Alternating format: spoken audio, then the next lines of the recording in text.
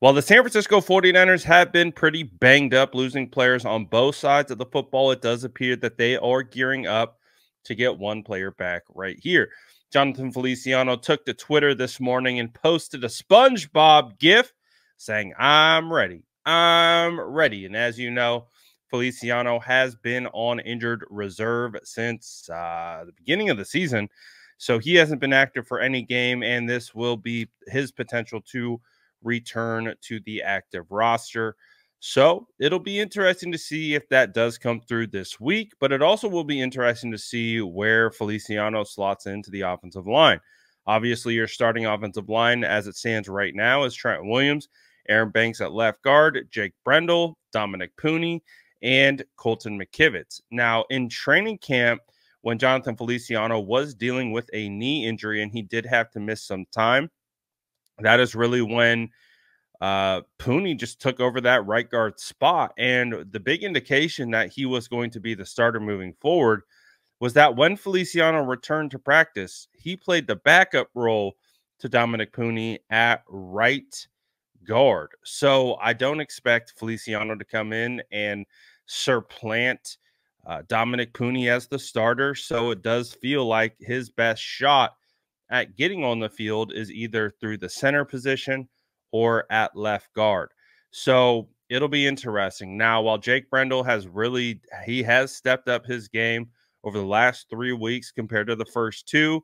And then you have Aaron Banks, who's been real up and down for the majority of the season. It'll be interesting to see what the 49ers ultimately decide. However, I do expect against the Chiefs that the 49ers will probably keep the same five out there. And then if there are any struggles or any issues, then it'll be up to Foerster and Kyle Shanahan to make the decision of if they want to put Feliciano in at either center or left guard. But it does seem like Dominick Puni has a stranglehold on that right guard spot. I don't think he will be giving up that spot to anyone as it currently stands. Um, obviously, Banks was a little bit banged up during that game against Seattle, where Spencer Burford stepped in for him. So I don't know. Uh, it'll be interesting to see what the 49ers offensive line looks like at the end of the season. But it is a good sign that you get one of your best uh, depth interior offensive linemen back who has the potential to be a starter. Obviously, it'll be interesting to see if he actually is worked in as a starter or they just kind of keep him, uh, you know, available. And, you know, in case, you know, someone struggles, then they put them in or not. But it'll be fascinating to see, especially with Chris Jones coming to town with the Kansas City Chiefs.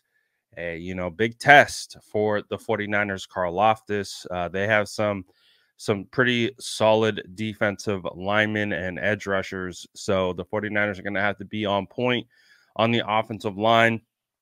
So it is a good sign that Jonathan Feliciano is uh, potentially, like we're assuming, we're speculating that this is him saying that, yeah, there's a good chance I'm going to return. But uh, we'll see.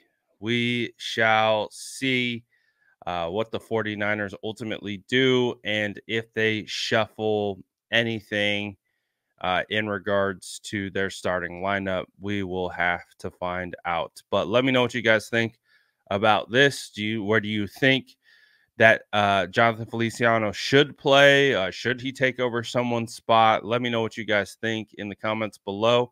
And as always, make sure to like and subscribe for more updates.